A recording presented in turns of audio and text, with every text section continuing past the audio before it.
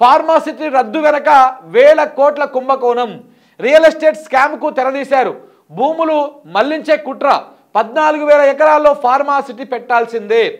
లేదంటే భూములు తిరిగి ఇవ్వాల్సిందే. ఫోర్త్ సిటీకి ఒక్క ఎకరం భూమి సేకరించవా? సేకరించావా? ఇప్పుడు ఫోర్త్ సిటీ అని చెప్పేసి ప్రకటించిండు. ఆ అమెరికాకు లేకపోతే వేరే వేరే దేశాలకు పోయినప్పుడు బాబు మీరు ఫోర్త్ సిటీలోనే పెట్టుబడులు పెట్టండి. ఫోర్త్ సిటీ నుంచే నడిపించండి. అక్కడి నుంచే మొత్తం వ్యవహారం అంతా చేయాలని చెప్పేసి పోయిన పోయిన దగ్గర కూడా పెట్టుబడులు ఫోర్త్ సిటీలోనే పెట్టించేటువంటి ప్రయత్నాలు చేస్తూ ఉన్నాడు. తమ్ముడు జగనాలతో చేసుకున్నటువంటి వెయ్యి కోట్ల ప్రాజెక్టు కూడా అందులోనే పెడదామనేటువంటి ప్రయత్నాలు చేస్తూ ఉన్నాడు. సో దానికోసం అక్కడికి మెట్రో తీసుకుపోవడానికి ప్రయత్నాలు చేస్తూ ఉన్నాడు. అక్కడికి పెద్ద పెద్ద రోడ్లు వేసుకపోవడానికి ప్రయత్నం చేస్తూ ఉన్నాడు. ఇవన్నీ చేస్తూ ఉన్నాడు. కానీ అసలు విషయం ఏదంటే ఫోర్త్ సిటీ పేరు మీద ఒక్క ఎకరం భూమైనా అయినా సేకరించిండా రేవంత్ రెడ్డి. మరి ఒక్క భూమి సే ఒక్క ఎకరం భూమి కూడా సేకరించకుండా ఫోర్త్ సిటీ ఏడ కడతాడు ఎట్లా కడతాడు ఏ విధంగా కడతాడు? అంటే ఫార్మాసిటీ కోసం సేకరించినటువంటి ప పదమూడు వేల ఎకరాలను అటు ఇటుగా పదమూడు పద్నాలుగు వేల ఎకరాలను దాంట్లలో ఏ రెండు మూడు వేల ఎకరాలల్లో ఫార్మాసిటీ మమ అనిపించేసి మిగతా పదివేల ఎకరాలల్లా ఫోర్త్ సిటీ కడదామనేటువంటి కుట్రకు తెరలేపిండు అనేది తెలంగాణ పత్రిక రెండు రోజుల క్రితమే చెప్పింది. రెండు రోజుల క్రితమే చెప్పింది. మనం కూడా రెండు రోజుల క్రితమే ఈ విషయాన్ని ప్రస్తావించడం జరిగింది. సో ఇవాళ కేటీఆర్ కూడా అదే విషయాన్ని చెప్పిండు. హండ్రెడ్ పర్సెంట్ ఇందులో వాస్తవం ఉంది. ఎందుకంటే ఒక్క ఎకరం కూడా సేకరించలే కానీ అక్కడ ఫోర్ సిటీ కడతా అని చెప్పేసి ప్రచారం చేస్తూ ఉన్నాడు. ఇందులో మీకు ఇంకొక ఎగ్జాంపుల్ కూడా చెప్తా. ఒక మన రేవంత్ రెడ్డి గారు రేవంత్ రెడ్డి గారి బ్రదర్సు మన రేవంత్ రెడ్డి గారి బ్రదర్సు ఏం చేసిరయ్యా అంటే హైదరాబాదులో అలాగే యుఎస్ఏలో సాఫ్ట్వేర్ కంపెనీలు ఉన్నటువంటి ఐటీ కంపెనీలు అంటాం కదా. సో సాఫ్ట్వేర్ కంపెనీలు ఉన్నటువంటి ఒక ఎన్ఆర్ఐ దగ్గరికి వెళ్ళిరు వెళ్ళి దాదాపు ఈయన ఈయన టర్న్ ఓవర్ ఎంత ఉంటుందంటే దాదాపు ఈయన కంపెనీల వాల్యూ ఒక మూడు వేల కోట్ల కంపెనీలు టర్న్ ఓవర్ ఇచ్చేటువంటి కంపెనీలు ఉన్నాయి. సో వెళ్ళి అయ్యా ఈ ఎన్ఆర్ఐ దగ్గరికి వెళ్ళిరు ఈ ఎన్ఆర్ఐ దగ్గరికి వెళ్ళి బాగా పేరు మోసేటువంటి ఎన్ఆర్ఐ దగ్గరికి వెళ్ళి అన్న నువ్వు ఫోర్త్ సిటీ దగ్గర ఈ ఫోర్త్ సిటీ దగ్గర నువ్వు పెట్టుబడులు పెట్టాలి. ఒక నాలుగైదు వందల కోట్ల విలువైనటువంటి పెట్టుబడి పెట్టాలని చెప్పేసి ఆయనతో పోయి బాగా రిక్వెస్టింగ్ బాగా రిక్వెస్టింగ్ చేయడం.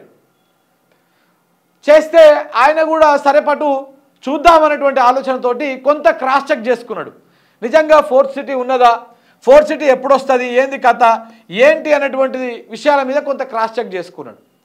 చేసుకుంటే అసలు దానికి ఒక క్లారిటీ లేదు. ఫోర్త్ సిటీ ఏడొస్తుంది? అదే ఫోర్త్ సిటో ఫ్యూచర్ సిటో ఏఐ సిటో రకరకాల పేర్లు చెప్తా ఉన్నారు. ఇది ఏడొస్తుంది? ఎట్లొస్తుంది? ఏ విధంగా దీనికి వ్యవహారం ఉంది దీని పునాది ఏంది దీనికి ఆజ్యం ఏంది అసలు దాని అవసరం ఏంది? ఎందుకు ఇది అత్యంత అవసరంగా రాబోతా ఉంది ఏంటి అనేది ఆయన కొంత క్రాస్ చెక్ చేసిండు ఎవరు ఈ ఎన్ఆర్ఐ? ఎందుకంటే ఇంత పెద్ద మనిషి గత ప్రభుత్వంతో అంతకుముందు ఉన్నటువంటి ప్రభుత్వాలతోటి చాలామంది కీలక నాయకులతోటి పరిచయాలు ఉంటాయి హండ్రెడ్ పర్సెంట్ ఆయన క్రాస్ చెక్ చేసుకుంటాడు. క్రాస్ చెక్ చేసుకుంటే ఈ ఎన్ఆర్ఐకి కాంగ్రెస్ పార్టీలో ఉన్నటువంటి ఒక కీలక మంత్రి ఒక కీలక మంత్రి. అనాకి ఇట్లా వస్తుందంట మరి. కొంతమంది వచ్చి నా దగ్గరికి వచ్చి పెట్టుబడి పెట్టమని చెప్పారు దాంట్లో ముఖ్యమంత్రి గారు సోదరులు కూడా ఉన్నారు. ఇట్లా వచ్చి పెట్టమని చెప్పారు మంచిగా ఉంటుందంట అని చెప్పారు నాకు. నేను పెడదాం అనుకుంటున్నా ఏంది పరిస్థితి అని చెప్పేసి ఒక కాంగ్రెస్ కీలక మంత్రి. ఒక మినిస్టర్ దగ్గరికి పోయారు ఒక మినిస్టర్ దగ్గరికి పోయి దక్షిణ తెలంగాణ ప్రాంతానికి చెందినటువంటి మినిస్టర్లు వీళ్ళు.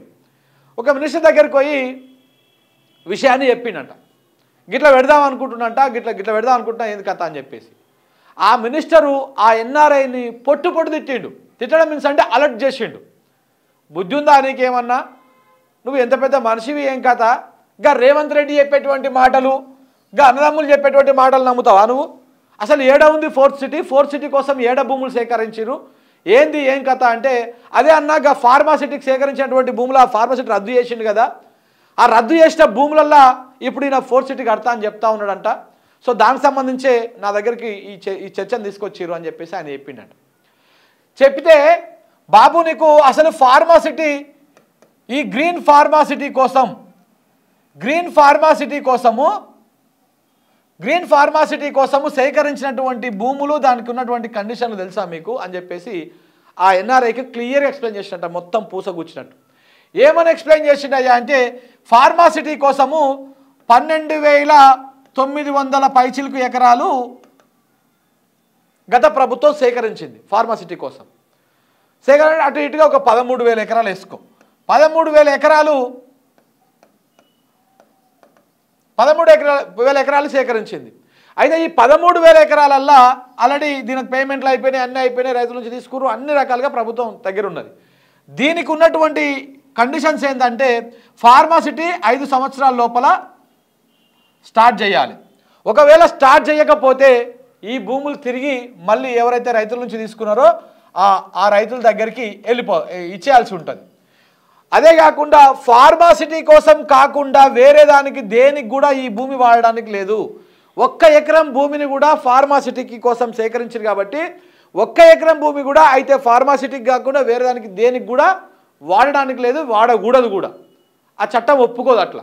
సో కాబట్టి ఆయన క్లియర్గా బాబు ఆయన ఫార్మసిటీని రద్దు అన్నాడు కానీ రద్దు చేస్తే ఈ పదమూడు వేల ఎకరాల భూములను రైతులకే చెల్లించాల్సి ఉంటుంది ఫార్మర్స్కే చెల్లించాల్సి ఉంటుంది తప్ప ఇది తిరిగి ఇచ్చేయాల్సి ఉంటుంది తప్ప ఒక్క ఎకరం భూమిలో కూడా వేరే ప్రాజెక్టు కడతాము వేరేది కడదామంటే లీగల్ సమస్యలు వస్తాయి ఒక్క అడుగు కూడా ముందుకు పడదని చెప్పేసి కుండ బద్దలు కొట్టినట్టు తిట్టుకుంటా. ఎందుకంటే ఆ మినిస్టర్ ఆయన కొంచెం వెలివిషర్ కాబట్టి ఆయన పోయి అడిగిన అనమాట సో ఇట్లా తిట్టుకుంటూ చెప్పేసరికి ఆ ఎన్ఆర్ఐ వచ్చి బయటకు వచ్చి ఎవడైతే ప్రపోజల్ తీసుకొచ్చిండో ఆయన దగ్గరికి ఏ ముఖ్యమంత్రి గారి సోదరులు త్రూ ఎవరైతే వచ్చిర్రో వాళ్ళను కూడా అవుట్ రేట్ వేసుకున్నాడు.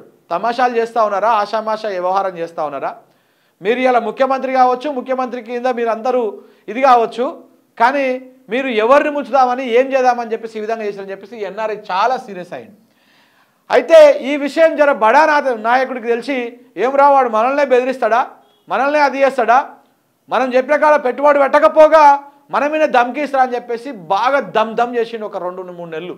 చేస్తే చివరికి ఎన్ఆర్ఐ టికెట్ వేసుకొని ఇప్పుడు యుఎస్ఏ వెళ్ళిపోయింది ఈ దరిద్రుడు ఉన్నన్ని రోజులు ఈ దరిద్రుడు రాష్ట్రంలో ఉన్నన్ని రోజులు నేను రాని రాష్ట్రానికి కరెక్ట్గా మూడున్నర నాలుగు సంవత్సరాలకు వస్తా అప్పుడు ఎలక్షన్స్ వస్తాయి కదా ఈ సన్నాసిని ఓడగొట్టడం కోసము మనం ఎన్ని విధాలుగా ప్రయత్నాలు చేయాలనో ఎంత ఖర్చు పెట్టాలనో అంత ఖర్చు పెడదాము. ఇలాంటి నీచుడు వల్ల రాష్ట్రం బాగుపడదు అని చెప్పేసి ఆ ఆ ఎన్ఆర్ఐ పెద్ద మనిషి సప్పుడు ఎక్కుట ఇండియాలో ఉంటే ఈ ఇట్లనే టార్చర్ చేస్తారని చెప్పేసి ఫ్లైట్ వేసుకొని అమెరికా వెళ్ళిపోయి. అమెరికాలో ఉన్నాడు ఇప్పుడు ప్రస్తుతానికి. ఇది జరిగినటువంటి వ్యవహారం. ఇట్లా ఎంత అనుకుంటున్నారు? మామూలు కాదు. ఆ ఫుల్ ఫ్యూచర్ సిటీ ఫార్మసిటీ రద్దు అనేటువంటి సినిమా చెప్పేసి ఎంతోమంది దగ్గర రకరకాల పెట్టుబడులు పెట్టించడము రకరకాల ప్రయత్నాలు చేయడం ఇట్లాంటివన్నీ చేస్తూ ఉన్నారు. ఇదంతా కూడా పెద్ద స్కామ్. పెద్ద కుంభకోణం జరగబోతా ఉంది. ఫార్మాసిటీ కోసం సేకరించిన భూమిలా ఒక్క గంటెడు భూమిని కూడా ఆయన వేరే అవసరాని కోసం వాడలేడు వాడలేడు వాడలేడు. ఇది తథ్యం. సో కాబట్టి ఈ రకంగా స్కాములు జరిగేటందుకు ఎన్ని రకాలుగా ప్రయత్నాలు చేయాలో అన్ని రకాల ప్రయత్నాలు చేస్తూ ఉన్నారు. కొన్ని వర్కౌట్ అవుతూ ఉన్నాయి కొన్ని వర్కౌట్ కావడం లేదు. ఫోర్త్ సిటీకి ఒక్క ఎకరం భూమి అయినా సేకరించావా? ఫోర్త్ సిటీ పేరుతో సీఎం సోదరులకే లబ్ధి చెందుతూ ఉంది. ఇది మా ఇది కూడా హండ్రెడ్ పర్సెంట్ నిజం. కేవలము తమ్ముడు కొండ అన్న తిరుపతి. ఇద్దరు కలిసి మొత్తం ఇదే దందా పెట్టుకురు మొత్తం అంతా. తమ్ముడు మన ఎవరు? ముఖ్యమంత్రి గారి సోదరులు. ఏడ భూములు కొనాలి ఏడ ఫోర్త్ సిటీ వస్తుంది ఏడ త్రిబుల్ ఆర్ వస్తుంది దాని పక్కనంగా భూములు ఏం కొనాలి? చెప్తున్నాయి కదా మననే రాసిరు కదా. ఆ కొట్ర గేట్ దగ్గర కూర్చొని మొత్తం ఇదే దందా. కల్వకుర్తి దగ్గర కొన్ని వందల వందల వేల ఎకరాలు కొను కొనుక్కుంటున్నారు వీళ్ళు బినామీల పేర్ల మీద.